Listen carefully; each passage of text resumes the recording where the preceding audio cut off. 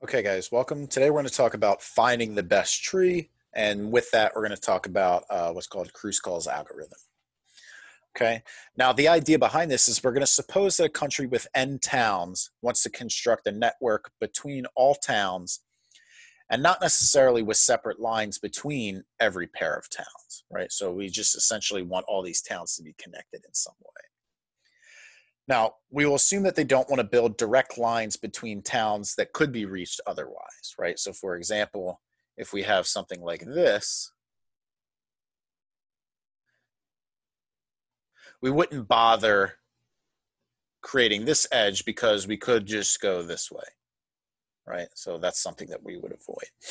So in graph theory context, they want to build a minimal connected graph with these nodes, which of course is a tree. Now we know that we're going to need n minus 1 edges, but we're going to assume here that not all edges are equal here, right? Some lines may cost more due to their distance or geography and other factors, right? Now the idea is we want to find a spanning tree whose total cost is minimal, right? And we're of course we'll assume that we have costs given to us. Now, of course, it's not practical to look at all possibilities, right? Because for if we have 10 nodes, the number of labeled trees is 10 to the eighth, which of course is 100 million, right? Because it's n, we saw in the previous video, it's n to the n minus 2, so it's 10 to the eighth, right? So what we want to do is we want to modify our task a little bit. We want to find a cycle with n given towns as nodes such that the total cost of constructing its, its edges is minimum. Now, the reason why we're going to consider a cycle is because now it's possible to delete one edge and still be connected.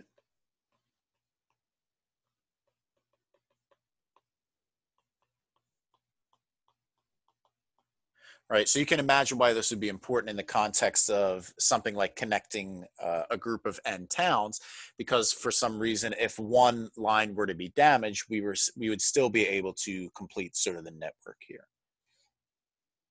Now, one approach is what we're going to refer to as what's called the greedy method. All right, we're going to build the cheapest line, then build the next cheapest line, and we're going to keep doing this um, until we're done. And of course, along the way, you would ignore any edges that are redundant. Okay. Now, eventually you get a cycle, but it's not necessarily the best, right? Because, for example, if you were to use the greedy method, you would get this one because the, the if we assume that uh, construction costs are proportional to distance, well, the shortest distance would be this one. Then the next shortest would be maybe this one, or maybe that order is the other way around uh, but it doesn't matter. Then the next shortest would be this one, but then we'd have to connect these two, right? Whereas it would have been cheaper to form this network here, right? But again, remember this which this is for that modified problem. For a tree, removing a single edge, the greedy method is the best approach, right? But for the the cycle, just by adding one more edge, you're not you're not going to necessarily get the best now, right? So if we just consider this in the context of a tree, we refer to this so-called greedy method as what's called Kruskal's algorithm. Right, is to continually choose the cheapest line until you have your tree. Okay, now the proof of Kruskal's algorithm is the following. We're going to let G be any tree that's different from our greedy tree that we attained by Kruskal's algorithm F, right? So what we want to show eventually is we want to show that G and F really have to be the same thing, right? So we're, we're going to imagine the process of constructing F and the step when we first pick an edge that is not an edge of G, we're going to call it E, right? So we're going to assume that maybe this is some portion of our graph here, I guess I should say, uh, of our two trees. And we're going to say that we have the first step where it goes different from G. We're going to say that G connected these two, whereas E connected these two, right? Of course, this is just uh, um, just for just for a sort of example's sake. Now, if we add E to G, we would of course get a cycle C. Now, the cycle is not fully contained in F, right? So it has an edge F that is not an edge of capital F here, right? Right. So of course, why wouldn't we select E? And of course, in this diagram here, what we would have, so if we add E to G, you would get this cycle because now if we were to add E to G, that would become this edge here, right?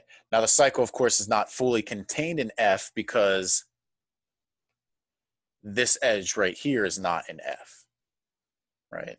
So I can call that F.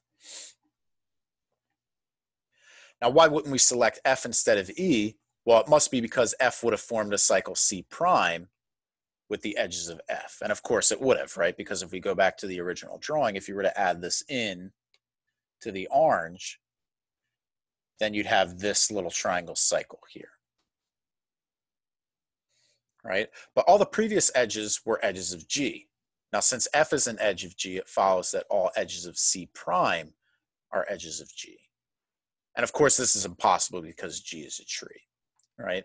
So the idea here is that F is not cheaper, the edge F is not cheaper than the edge E.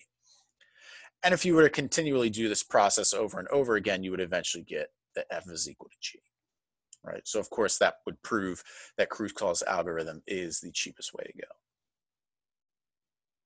Now I do want to spend a minute or so on this graph right here where we want to connect, where we want to form a tree, right? So of course, the cheapest way to do this is to, looks like we're gonna have one, and then two, and then three, and then it looks like four, five, six, seven, eight, nine, 10, and 11. And then we have our tree there, right?